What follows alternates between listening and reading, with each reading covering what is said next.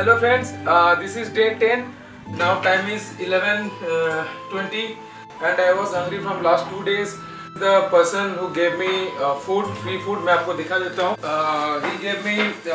this puri and bara with sabzi and all that